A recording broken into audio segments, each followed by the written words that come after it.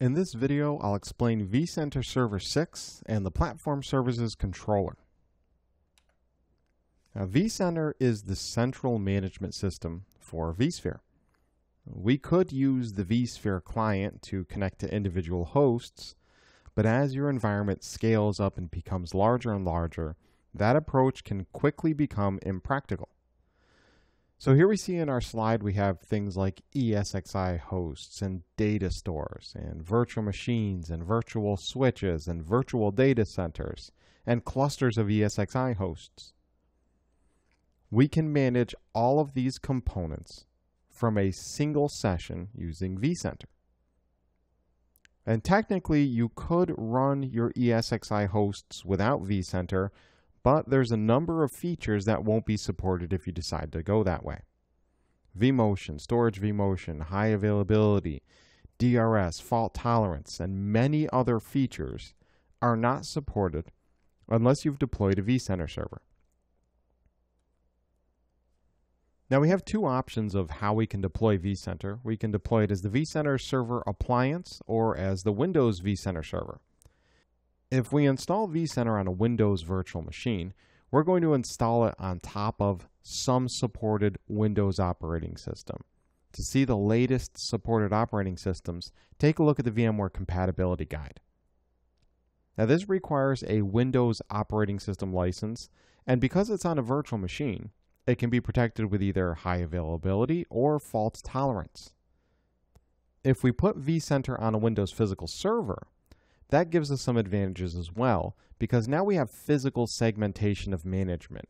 Management is completely outside the vSphere environment. Of course, this means we don't get the vSphere protections as well, such as HA and fault tolerance. Our third option is to deploy the vCenter server appliance, which gives you an identical experience when you're using the vSphere web client. You can't tell the difference. It's a pre-configured, pre-built Linux virtual appliance that's designed to run vCenter, and it makes installations and upgrades very simple. It can also be protected with high availability or fault tolerance.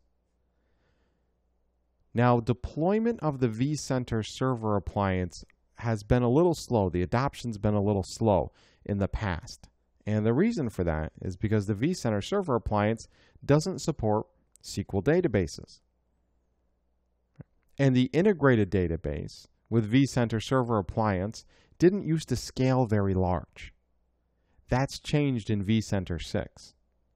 So as of vCenter 6, the Windows version of vCenter still supports SQL, it supports Oracle, and it supports a bundled database as well that can give you up to 20 hosts and 200 virtual machines.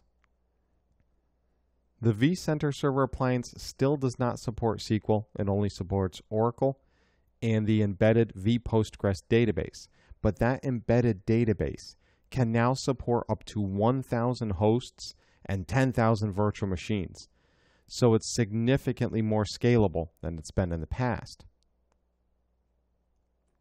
The other important part of vCenter is the plugins. These are additional features that integrate with vCenter, things like Update Manager, Site Recovery Manager, and vCenter Orchestrator. Okay, so let's talk about the Platform Services Controller and its role.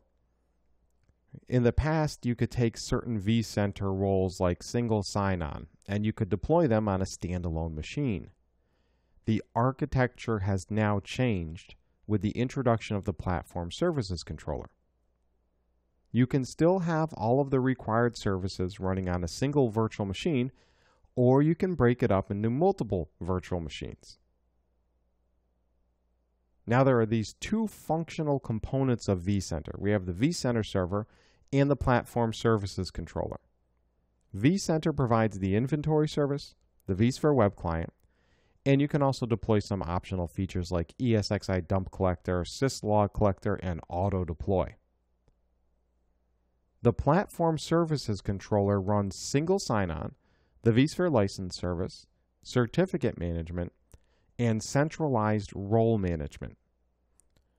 So the PSC is providing services to our vCenter servers. And these services might be shared by multiple vCenter servers, like single sign-on, the vSphere license server, certificate management. Wouldn't it be great if we could manage all of those in one place and share those services across multiple vCenter instances? Now, you have a few options of how you can set this up. You can deploy the PSC and vCenter right on the same virtual machine if you want. You're still going to need a Windows virtual machine for Update Manager. Update Manager is still a standalone Windows application. So let's take a look at our first deployment model for vCenter with an embedded platform services controller. The platform services controller provides all those services like single sign-on and certificate management. It can be deployed on its own machine, or as we see here, it can be deployed on the same machine as vCenter. This is applicable with the vCenter Server appliance or the Windows version of vCenter. We have an embedded mode available with either of those options. And this model is actually sufficient for most environments, and it's the easiest to deploy and it's the easiest to maintain. So this is an appropriate model if you're not planning on integrating other VMware solutions with single sign-on. And in this model, replication with other platform services controllers is not supported. So if you're going to have a single vCenter instance, this is a great option for you.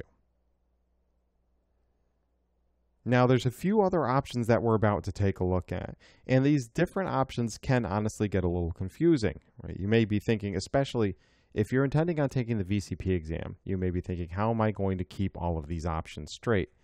And really, the key is to kind of drill these topics over and over again. There are some great practice exams at www.trainertests.com that can help. So at the end of the course, I'll have some information on how you can get access to these outstanding practice exams. Let's take a look at vCenter with an external platform services controller. This is our second deployment option. We can break out the platform services controller as an independent machine. And this configuration allows multiple vCenter servers to link to a shared PSC.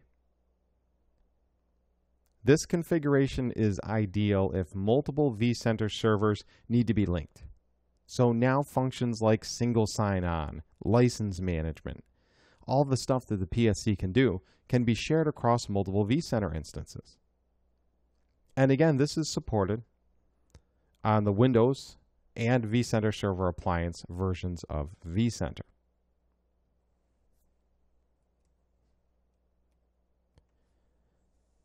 Now here's a scenario where we have multiple platform services controllers deployed.